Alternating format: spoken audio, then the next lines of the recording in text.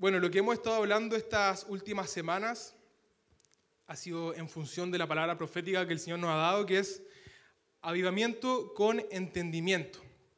Y nuestro pastor Jairo nos enseñaba el domingo pasado, la autoridad de Dios se libera si vivimos sumergidos en su palabra. ¿Cuántos aman la palabra? Amén. Amamos la palabra de Dios. Sin la palabra no hay entendimiento. Y esta mañana venimos con expectativa. ¿Cuántos vienen con hambre por su palabra? Amén. Y este año 2024 Dios nos entregó una palabra profética titulada Avivamiento con entendimiento. Y hemos recibido una serie de mensajes alineados con el mover de Dios para este año. Y ya estamos en el tercer mes de este año, en el mes de marzo. El ritmo comenzó. Algunos ya tienen que empezar a llevar a sus hijos al colegio, otros tenemos que, eh, como lo hacemos todos los meses, levantarnos temprano, ir al trabajo, pero estamos disfrutando de este tiempo nuevo, estamos disfrutando lo nuevo que Dios está trayendo, disfrutando lo nuevo de Dios, su palabra con nosotros. Y el domingo pasado nuestro pastor Jairo nos enseñó sobre la autoridad de Dios que se libera si, si vivimos sumergidos en su palabra. Y él nos decía, el incremento de favor o autoridad de Dios sobre nuestra vida es el resultado de cómo hemos administrado el favor o la autoridad que ya tenemos en Dios sobre nuestras vidas. Avivamiento con entendimiento es la revelación del favor y autoridad de Dios sobre nosotros. Avivamiento con entendimiento es la revelación del favor y la autoridad de Dios sobre nosotros. Para vivir un avivamiento con entendimiento, debemos ir a la palabra para vivir con ese entendimiento. Sin palabra no hay entendimiento. César también nos compartía el miércoles. ¿Cuántos estuvieron el miércoles acá en la reunión? Amén. Cada vez Dios está sumando más personas los miércoles. Y César nos decía la centralidad de Jesús en la palabra. Él nos enseñaba que Jesús es el centro de la palabra. De Génesis a Apocalipsis, Jesús es el centro de la palabra. Jesús es el centro de la palabra. Lloramos por un espíritu de revelación y de sabiduría. Dios nos está llevando a esto, a orar por un espíritu de revelación y sabiduría sobre esta casa. Más revelación, más sabiduría, más revelación, más sabiduría. Dios está trayendo un espíritu de revelación y de sabiduría.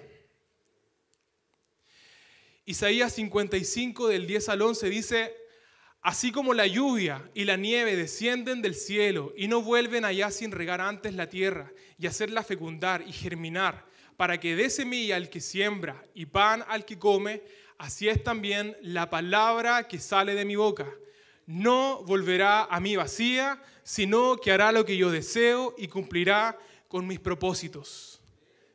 No volverá a mí vacía, sino que hará lo que yo deseo y cumplirá con mis propósitos. La palabra de Dios no vuelve vacía. La palabra de Dios no puede volver vacía. En nuestra vida la palabra de Dios tiene que tener un efecto, tiene que tener una acción, tiene que tener algo tangible. La palabra de Dios tiene que causar un efecto en nuestras vidas, tiene que traer transformación, tiene que traer un cambio. Y yo destaco esta palabra que, que el pastor nos enseñaba el domingo pasado en esta última frase, sino que hará lo que yo deseo y cumplirá con mis propósitos. Y destaco estos dos conceptos, deseos y propósitos. Señor, ¿cuáles son tus deseos? ¿Cuáles son tus propósitos? Deseos y propósitos, deseos y propósitos. Y debemos ir a su palabra. ¿Cuánto hoy día quieren conocer los deseos y propósitos del Padre? Amén. En otras palabras, la palabra es la voz de Dios, expresa sus deseos y nos muestra sus propósitos. Cuando leemos la palabra, nosotros nos volvemos pequeños y Él se hace grande. Nuestros deseos y propósitos menguan para que crezcan los de Él.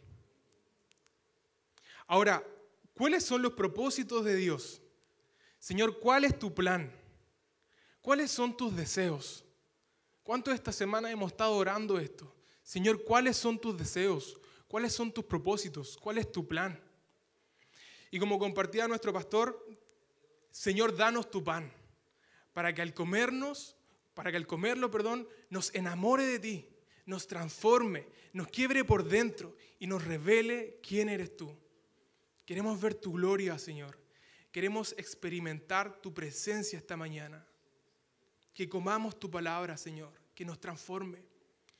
La palabra de Dios dice en Proverbios 25.2, Gloria de Dios es encubrir un asunto, pero honra del rey es escudriñarlo.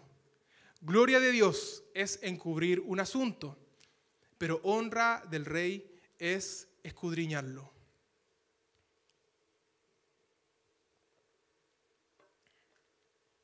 Y atención con esto familia. Dios esconde algo a los ojos de los hombres, pero solo quienes ven su autoridad en Dios revelan sus asuntos. La palabra de Dios dice, gloria de Dios es encubrir un asunto, pero honra del rey es escudriñarlo. Dios esconde algo a los ojos de los hombres, pero solo quienes ven su autoridad en Dios revelan sus asuntos. Dios hoy te trajo esta mañana para revelar los asuntos del Padre. Te trajo para revelar su palabra para esta generación, para este tiempo, para bajar lo que el cielo está gritando esta tarde, lo que el cielo está gritando. Dios quiere que nosotros sintonicemos como esta, esta radio que yo ponía en, en la diapo, una radio que sintonice lo que el cielo está gritando, lo que el cielo está clamando, lo que el cielo está diciendo. Pero tenemos que sintonizarnos con la voz del Espíritu Santo para bajar esta señal, para escuchar lo que Dios está hablando. Dios hoy te ha traído para que veas la corona que tienes puesta sobre tu cabeza y para que reveles sus misterios. ¿Cuántos quieren revelar los misterios del Padre? Amén. Jesús es llamado el soberano de los reyes de la tierra. Él no por nada es llamado el rey de reyes y el señor de señores. Nuestro pastor Jairo siempre nos recuerda, somos reyes y sacerdotes. Somos reyes y sacerdotes. Y Jesús es llamado el rey de reyes y el señor de los señores. Él es tu rey pero nosotros también somos reyes y somos sacerdotes. Jesús es el rey de reyes y el señor de señores. Cuando adoramos esto y decimos, Señor, tú eres el rey de reyes y señor de señores, estoy diciendo, Señor, yo reconozco esta corona que está puesta sobre mi cabeza. Y yo reconozco que soy rey, pero hay un rey sobre mí. Tú eres el rey de reyes y el señor de los señores. Yo hoy quiero hablar sobre esto, familia. Avivamiento con entendimiento, levantando un clamor profético guiados por su palabra. Levantando un clamor profético guiados por su palabra. El título puede sonar muy grande u optimista, lo sé, pero yo no quiero perder la capacidad de asombro o expectativa de lo que Dios está haciendo en medio nuestro. Yo no quiero perder esta capacidad de asombro o expectativa de lo que Dios está haciendo en medio nuestro. Y hablaba esto con mi hermano Roberto el otro día y sé que mi papá también están de acuerdo con esto. Pero creemos que hay una unción sobre esta casa. Hay una unción especial este año sobre esta casa. Pero tenemos que sintonizarnos con la voz del Espíritu Santo para ver la unción que Él está trayendo sobre este lugar.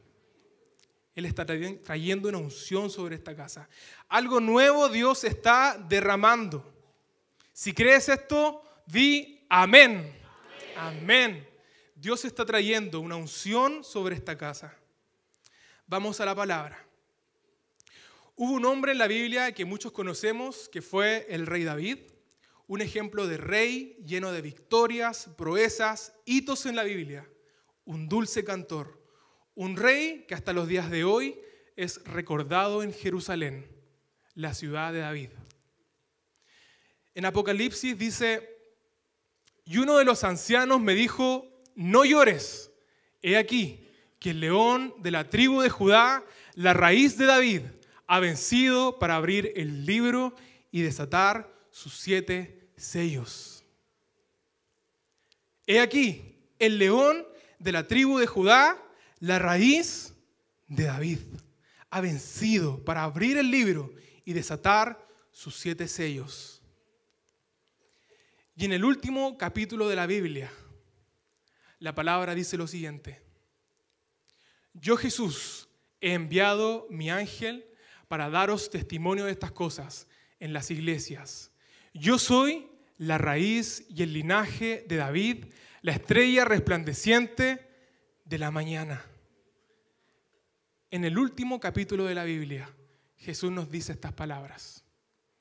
Yo eh, ocupé una Biblia de mi papá, que él no estaba ocupando, que se había comprado, y me encantó esta Biblia porque las palabras de Jesús están en rojo. Tenía otra Biblia para niños que me duró muchos años, con dibujos, con harta, muy didáctica, pero una Biblia con, lo que Jesús dice en letras rojas para mí ha sido muy, muy, eh, muy bueno. Y cuando vamos al último capítulo de la Biblia, leemos este texto en rojo, lo que Jesús dice, lo que Jesús nos habla. Y dice, yo Jesús he enviado mi ángel para daros testimonio de estas cosas en las iglesias.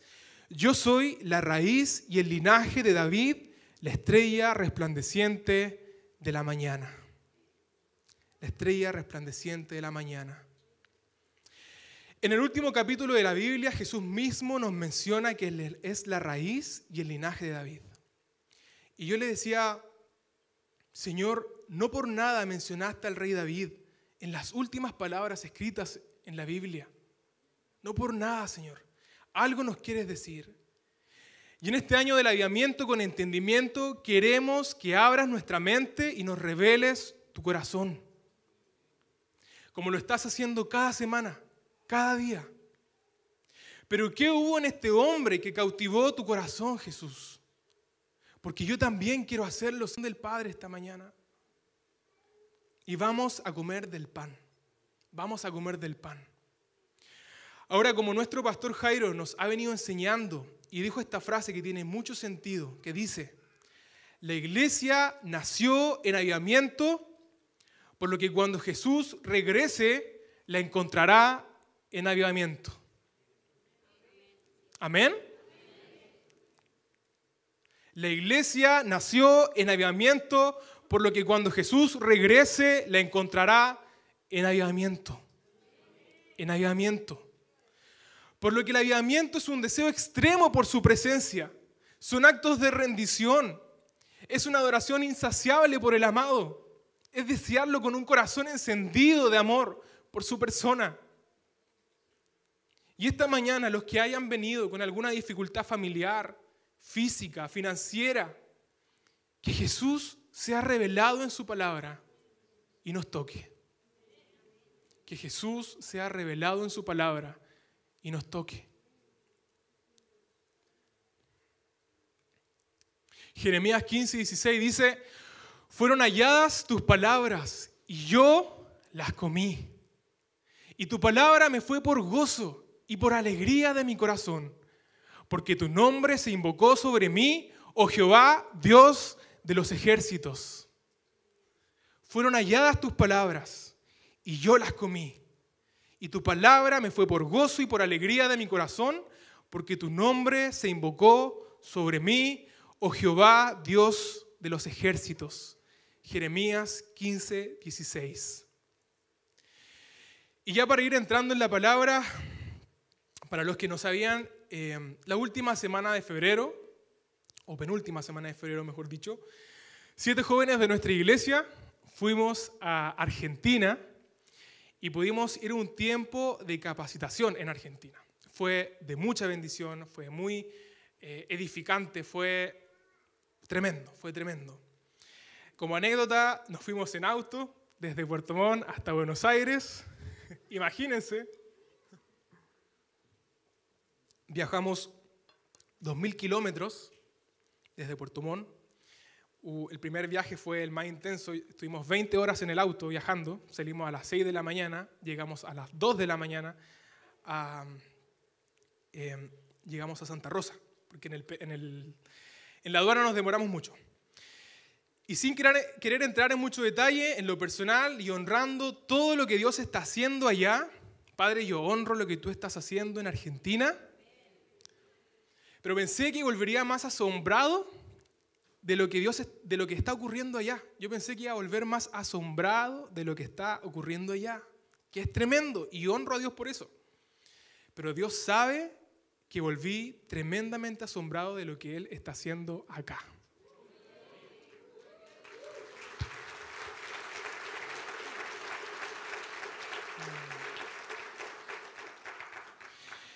Y debo decir que Dios aumentó mi capacidad de asombro. Me voy a emocionar de nuevo.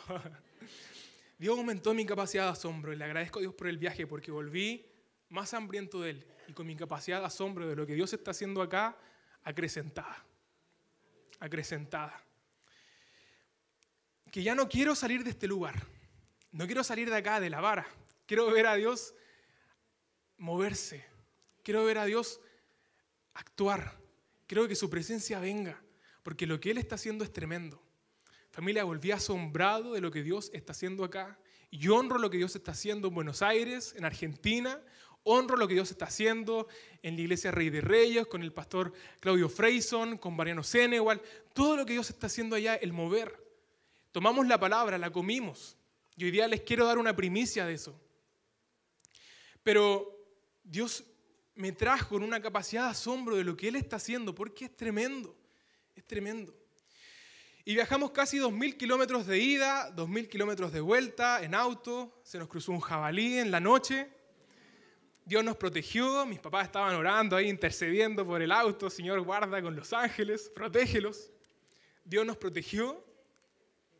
Pero les contaba a mis papás que hubo tantas conexiones con su plan para la tierra cuántas conexiones con su plan para la tierra, que debo decírselos esta mañana. Y sé que los que fuimos también a este viaje estamos con el mismo sentir. Estamos con el mismo sentir. Y la palabra habla en el libro del profeta Isaías y en los salmos que en los últimos tiempos se oirá un clamor desde lo último de la tierra. Y cánticos nuevos al Señor. Aleluya. Vamos a leerlos rápido. Isaías 42, 10. Canten al Señor un cántico nuevo, ustedes que descienden al mar y todo lo que hay en él. Canten su alabanza desde los confines de la tierra, ustedes, costas lejanas y sus habitantes. Aleluya. Gloria al Señor. Gloria Padre. Salmo 61, del 1 al 2. Oye Dios mi clamor atiende a mi oración. Desde el extremo de la tierra clamaré a ti cuando mi corazón desmaye. Llévame a la roca que es más alta que yo. El rey David decía, desde el extremo de la tierra clamaré a ti cuando mi corazón desmaye. Desde el extremo de la tierra, llévame a la roca que es más alta que yo. Toma esta palabra profética toma esta palabra profética. Isaías 24, 14 y 16. Estos alzarán su voz, cantarán gozosos por la grandeza de Jehová. Desde el mar darán voces. Glorificad por esto a Jehová en los valles, en las orillas del mar se ha nombrado Jehová, Dios de Israel. De lo postrero de la tierra oímos cánticos, gloria al justo. Gloria al justo. ¿Cuánto les dan un aplauso al Señor por su palabra? Jesús viene pronto, familia. Pero tenemos que actuar, tenemos que extender su reino como si Jesús viniese en 200 años, pero tener nuestras lámparas con aceite como si Él volviese mañana, como si Él volviese mañana. De lo postrero de la tierra oímos cánticos, gloria al justo. Esta mañana quiero decirte lo siguiente, y el que tenga oídos para oír, que oiga lo que Dios nos dice este día. Tú y yo somos parte del plan global para el regreso físico de Jesús a la tierra, del Rey del universo, de aquel que, creó la tierra según su diseño original y la restaurará para habitar en medio de nosotros. Pero desde los confines de la tierra nos unimos al plan y clamamos, gloria al justo, gloria al justo. Pero aquí estamos nosotros, de los confines de la tierra. Aquí estamos nosotros, de los confines de la tierra. Jesús viene pronto, Maranata, Maranata. Pero Dios nos está revelando su palabra, que Él está levantando un clamor desde los confines de la tierra y prepararemos el camino para el regreso físico de Jesús a la tierra. Busquen familia en la, palabra, de los confines de la tierra se oirá un clamor, de los confines de la tierra se oirá un clamor, de los confines de la tierra. Estábamos en Buenos Aires, a 2.000 kilómetros de Puerto Montt, y en la conferencia decían,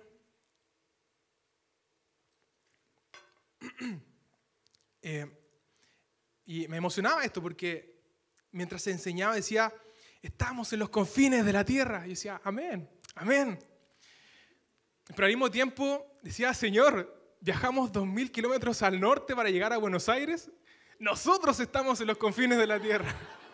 Nosotros estamos en los confines de la tierra. Y estamos ahí, a lo último de la tierra. Somos la última ciudad continental de Chile. La última ciudad continental de Chile. Dios nos está conectando con sus profecías. Pero de lo último de la tierra se oirá un clamor, escribió el profeta Isaías. Por algún motivo Dios te trajo a Puerto Montt con tu familia, o aquí formaste a tu familia.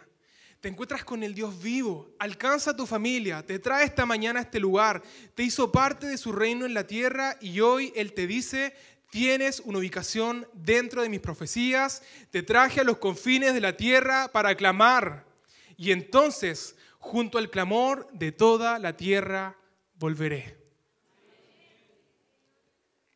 Iglesia amada en Puerto Montt, estás plantada en la última ciudad continental de Chile. Tienes un lugar en mis profecías. Tienes un lugar en mis profecías. Tú y yo estamos viviendo un aviamiento con entendimiento. Estamos comiendo la palabra, la estamos digiriendo y vamos a actuar. La palabra tiene que llevar a la acción. ¿Cuál será tu acción hoy día?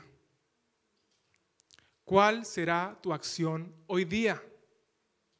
¿Cuál será mi acción? De los confines de la tierra subirá un clamor. Preparemos el camino. El amado está cerca. ¿Lo estamos captando, iglesia? Por eso te animo. Ven los días miércoles que la reunión del día miércoles sea como nuestro segundo domingo. Ven los días miércoles.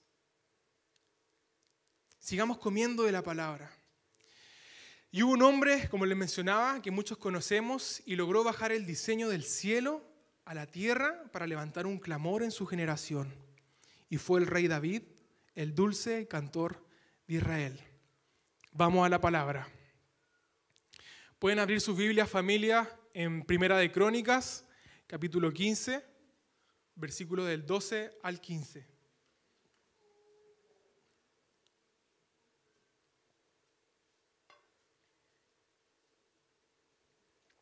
Dice, y les dijo, vosotros que sois los principales padres de las familias de los levitas, santificados vosotros y vuestros hermanos, y pasad el arca de Jehová, Dios de Israel, al lugar que le he preparado.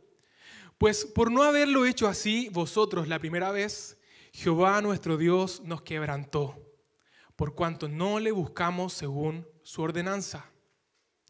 Así los sacerdotes y los levitas se santificaron para traer el arca de Jehová, Dios de Israel. Y los hijos de los levitas trajeron el arca de Dios puesta sobre sus hombros en las barras como lo había mandado Moisés, conforme a la palabra de Jehová. Contexto. Moisés siguió las instrucciones de Dios para que la presencia de Dios habitara en medio de su pueblo mientras caminaban por el desierto. Pero solo los levitas podían entrar a este lugar de su presencia. y presentar sacrificios de animales por los pecados del pueblo. Y aquí hay algo como un principio importante.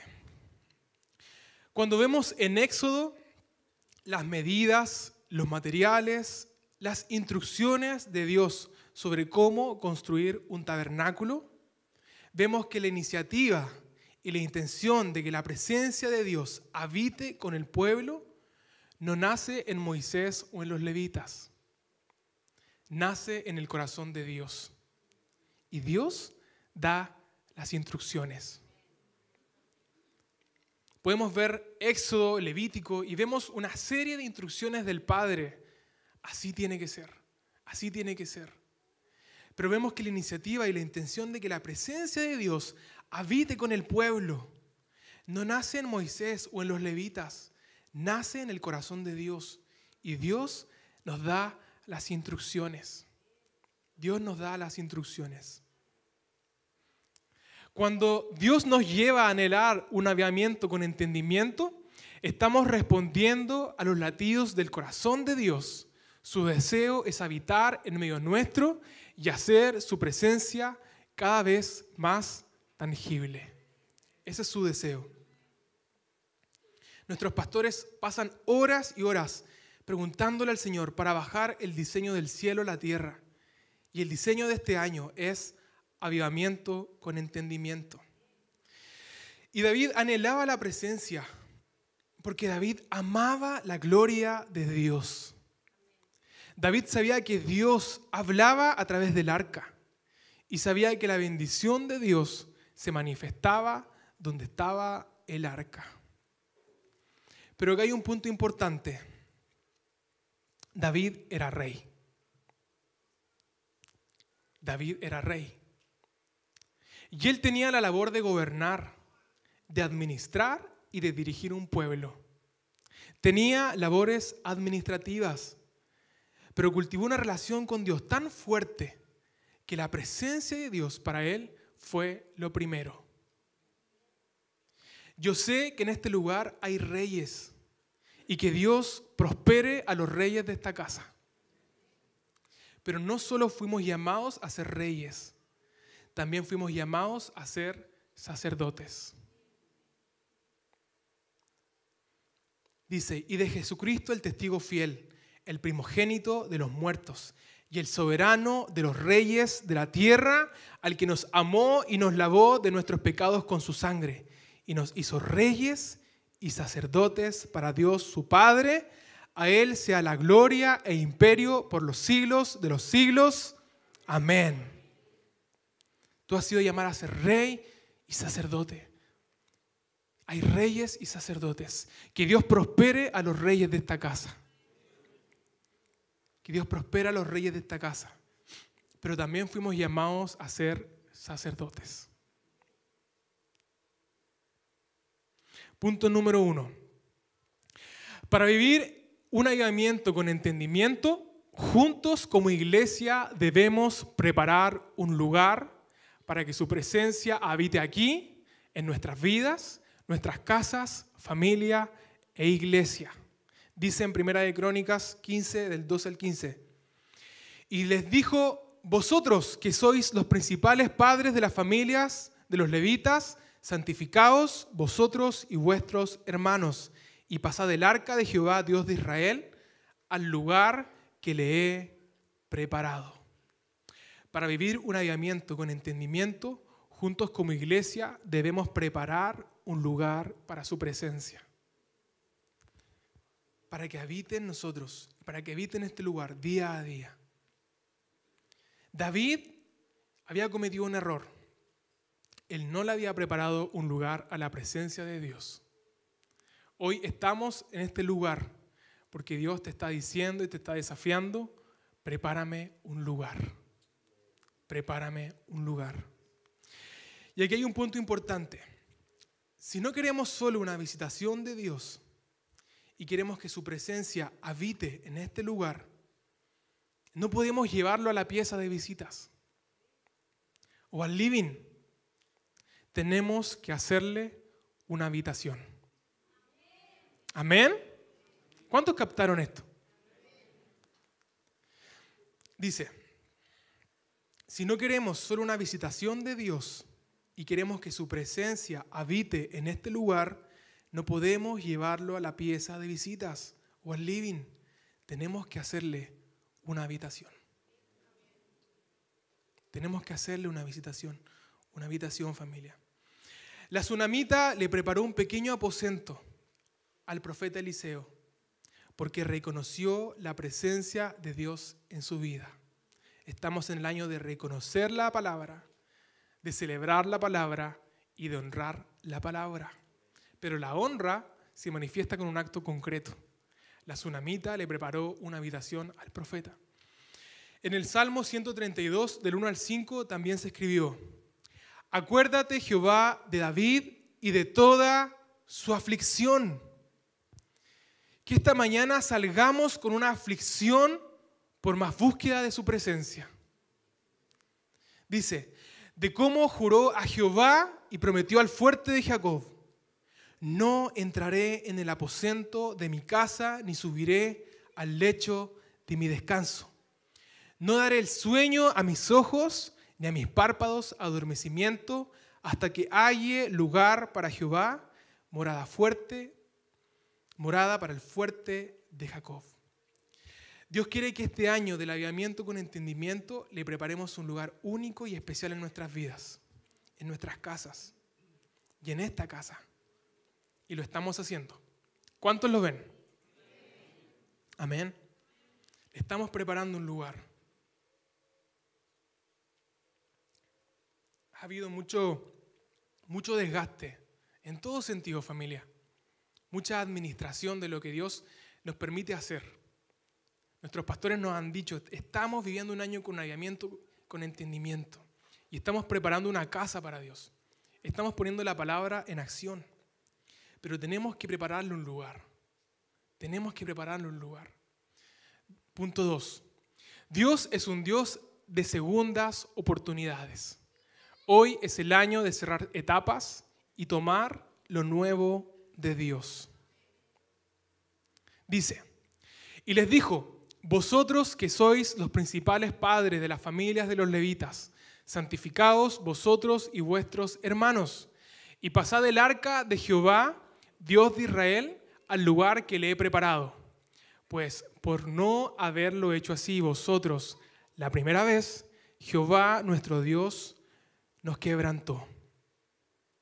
Jesús hoy te dice, te doy una segunda y una nueva oportunidad. ¿Cuántos estamos agradecidos por la misericordia de Dios? Amén. Que es eterna y que se renueva cada día. David conocía la gracia y la misericordia de Dios y seguramente dijo, nos equivocamos la primera vez, no le habíamos preparado un lugar correcto a Dios. Pero no lo haremos como la primera vez. Hoy tenemos una segunda oportunidad y le prepararemos un lugar. Familia, Dios es un Dios de segundas oportunidades, de nuevas oportunidades. La palabra nos enseña, no traigan al presente las cosas de antaño, no traigan memoria de ellas lo que hayas vivido, los procesos que hayas vivido, no los traigas a la memoria. Vive lo nuevo de Dios, el nuevo tiempo de Dios, lo fresco que Él está trayendo. Lo fresco. Jesús les decía a sus discípulos, discípulos les decía, ustedes tienen que preparar odres nuevos para el vino nuevo. Y los odres es nuestra mentalidad. Dios tiene que renovar nuestra mentalidad, como dice su palabra sean renovados su mentalidad. Tenemos que tener mentalidad de reino, ir por lo nuevo, conquistar, tomar lo que es nuestro, tomar lo que es nuestro, tomar lo que Dios nos trae. Familia amada, Dios hoy nos levanta, nos anima, nos consuela y nos dice, búscame, yo soy el Dios de las nuevas oportunidades. Si lo hizo con Pedro, si lo hizo con Saulo, si lo hizo con Jonás, ¿por qué contigo no lo hará?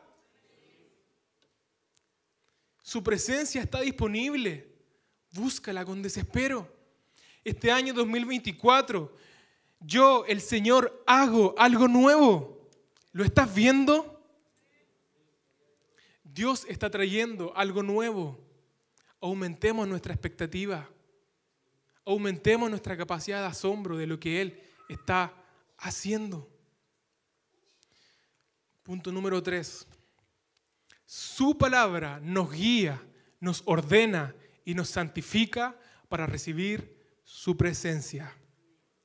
Dice, por cuanto no le buscamos según su ordenanza, así los sacerdotes y los levitas se santificaron para traer el arca de Jehová, Dios de Israel.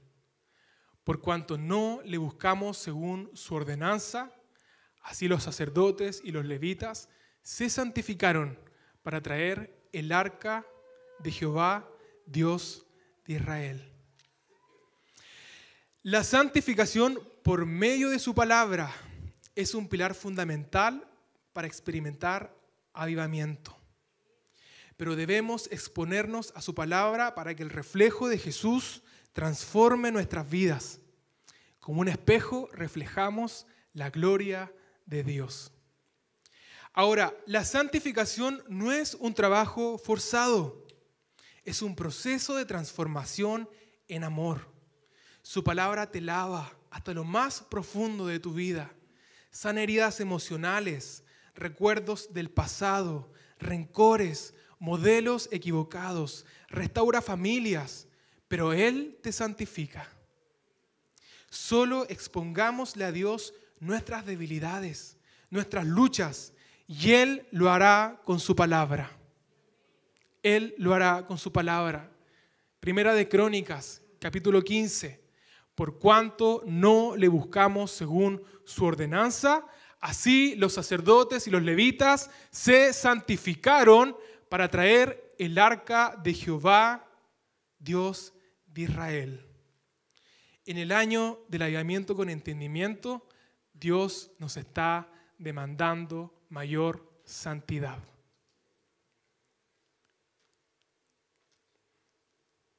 Mayor santidad. Todos nosotros, familia, en el lugar secreto, en lo íntimo, donde nadie nos ve, donde nadie ve lo que hacemos.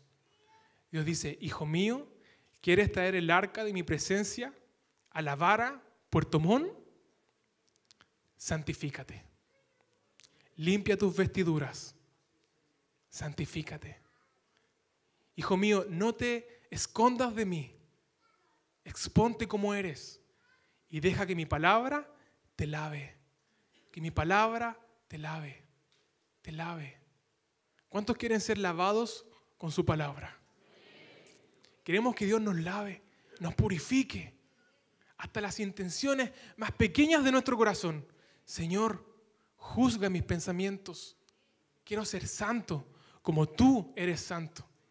Señor, quiero santidad, quiero integridad. Porque cuando tu arca esté en este lugar, no podemos ser como, como Uz, que antes del arca, traerla a la ciudad de David, tocó el arca con la mano y cayó muerto. Y David sintió una tristeza en su corazón porque él decía, queremos traer tu arca, Señor. Pero uno de los soldados cae muerto. No entiendo, Señor. Mi intención es que tu presencia venga. Me hiciste rey. Quiero que tu presencia habite en medio nuestro. Pero un soldado cayó muerto. Y por eso el arca fue llevada a la casa de Obededón. Y Obededón reconoció el arca. Y en su casa él fue prosperado. Y para David fue una señal. Y dijo, si Obedón fue prosperado con el arca, es una buena señal. Dios quiere que continuemos con el arca. Tomó el arca y lo trajo con los levitas. Dice, porque los ojos de Jehová contemplan toda la tierra para mostrar su poder a favor de los que tienen un corazón perfecto para con él. Porque los ojos de Jehová contemplan toda la tierra para mostrar su poder a favor de los que tienen un corazón perfecto para con Él. Dios quiere mostrar su favor sobre nuestras vidas. Él quiere traer un avivamiento con entendimiento a esta casa, familia.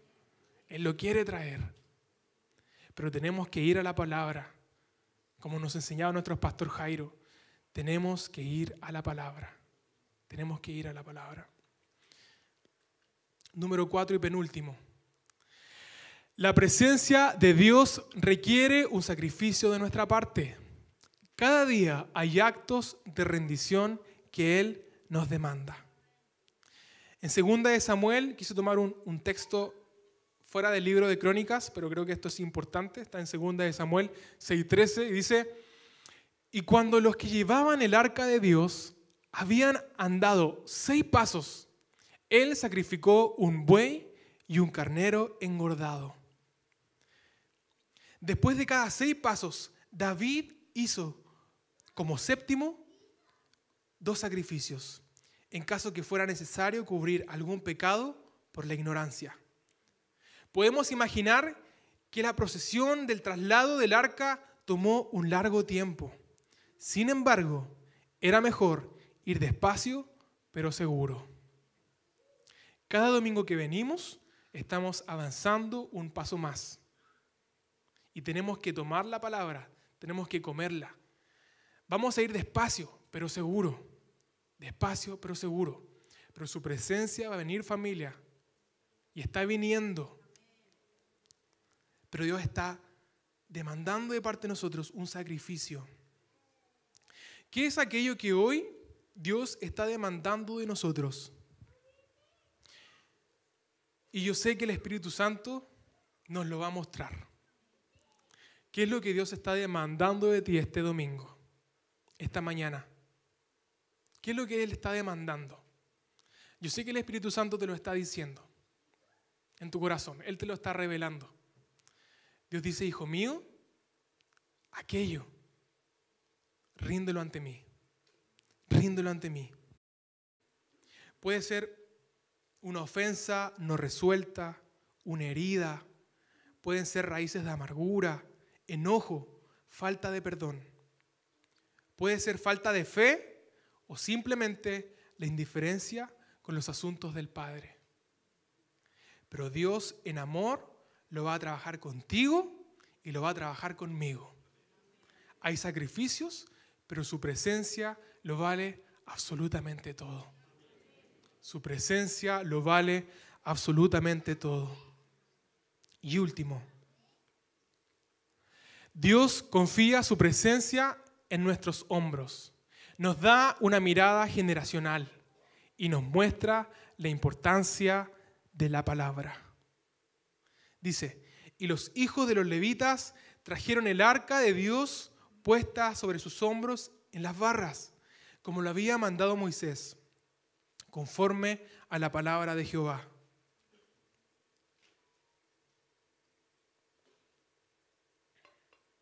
¿Cuántos están tomando la palabra hoy día? Amén. David había copiado un diseño equivocado para traer el arca. Hizo un carro nuevo, como lo habían hecho los filisteos, pero no era con los métodos del mundo. Era con el diseño de Dios. No era con un carro nuevo, era apoyando el arca sobre los hombros y sobre los hombros de los hijos de los levitas. Y los hijos de los levitas trajeron el arca. Traer la presencia de Dios es un trabajo intergeneracional. Invierte en tus generaciones. Adora con ellos. Pero no olvidemos, Dios es un Dios de segundas oportunidades. Que hoy día yo esté predicando aquí fue porque mi papá confió en mí.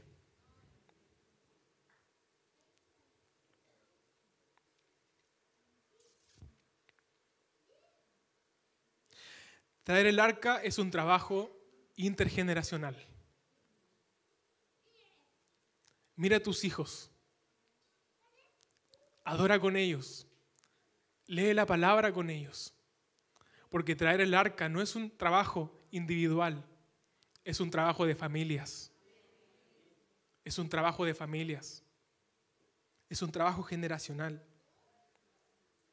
Que hoy hayan más de 140 niños en la escuela bíblica siendo equipados es que se está preparando una generación que va a lograr contener y administrar la presencia de Dios. Que hoy exista Educa Monte Alto es porque hay un trabajo generacional. Los niños vienen, aprenden de lenguaje, matemáticas, ciencias, pero también aprenden a adorar, a arrodillarse delante del Señor. Trae a tus hijos. Pueden eh, pasar los músicos si quieren. Traer la presencia de Dios es un trabajo generacional.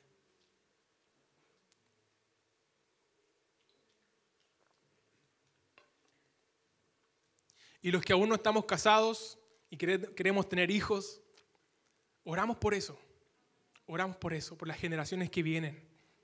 Por las generaciones que vienen. Queremos que la presencia de Dios habite en medio nuestro. ¿Cuántos quieren más de la presencia de Dios esta mañana? Queremos más de tu presencia, Señor. Más de tu presencia, Señor. Y un pequeño repaso. Esto es como las fórmulas cuando uno estudiaba matemáticas, anotaba las fórmulas para aprendérselas bien. Preparemos un lugar para Él. Es el año de cerrar etapas y tomar lo nuevo de Dios. Segundas oportunidades. Ya no pienses lo que pasó en el año 2019, 2021, 2023. Recordamos lo bueno de Dios.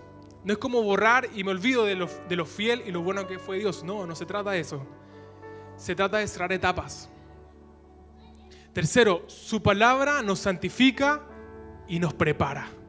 Dios nos prepara. Dios nos equipa. Porque el diseño de traer su presencia no es nuestro.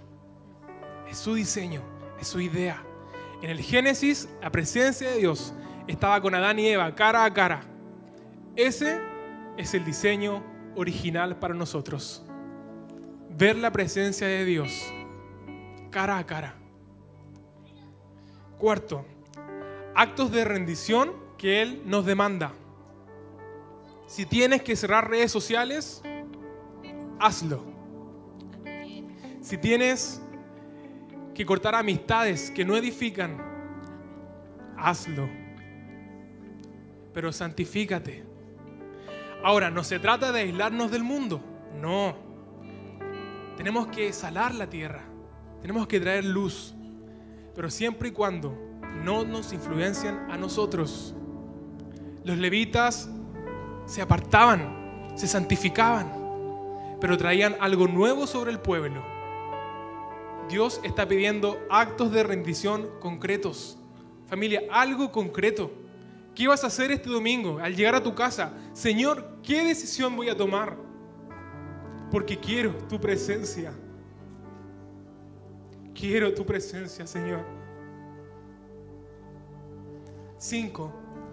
Dios deposita su presencia en nosotros con mirada generacional, con tus hijos, con tus nietos.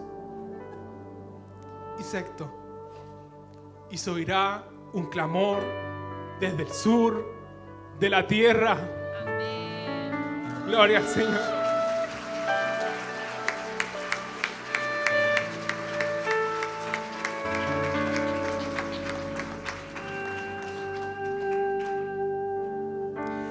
Dios está levantando un clamor profético en esta casa.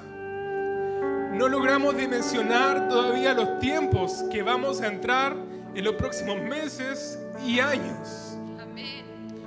Buscaremos su presencia incesablemente de día y de noche, levantando un clamor por el regreso del Rey de Reyes y el Señor de los Señores.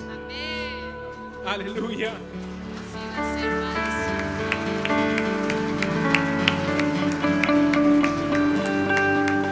Y pondremos la palabra en acción.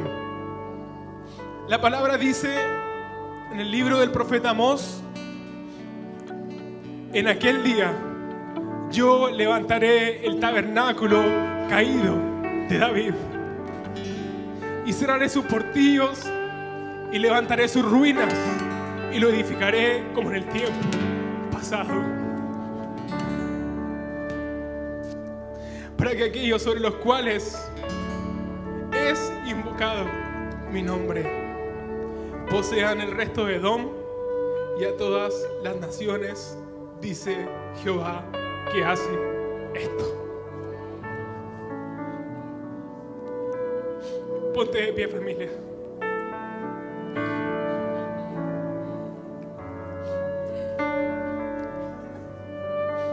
Pongan la, la diapo, chiquillos. Aviamiento con entendimiento. Y se oirá un clamor desde los confines de la tierra. Aleluya. Dale gloria al Señor. Dale gloria.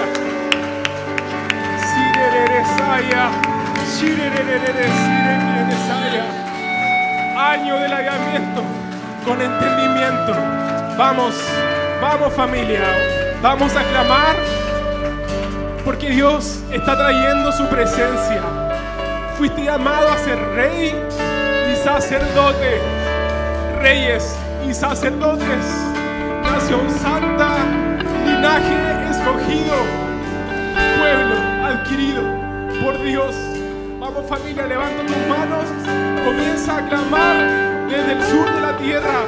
Levanta tus manos familia y clama, clama al Señor. Mesaya, fuego de Dios, más Señor, más Padre, ven Señor.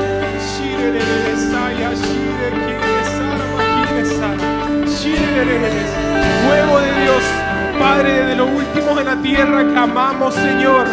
El Rey viene, Rey de Reyes, Señor de Señores. Padre, queremos más de tu presencia, Señor. Desde esta casa, Señor, te vamos a preparar, Señor, una habitación. Padre, queremos que habites en medio nuestro. Espíritu Santo, venías.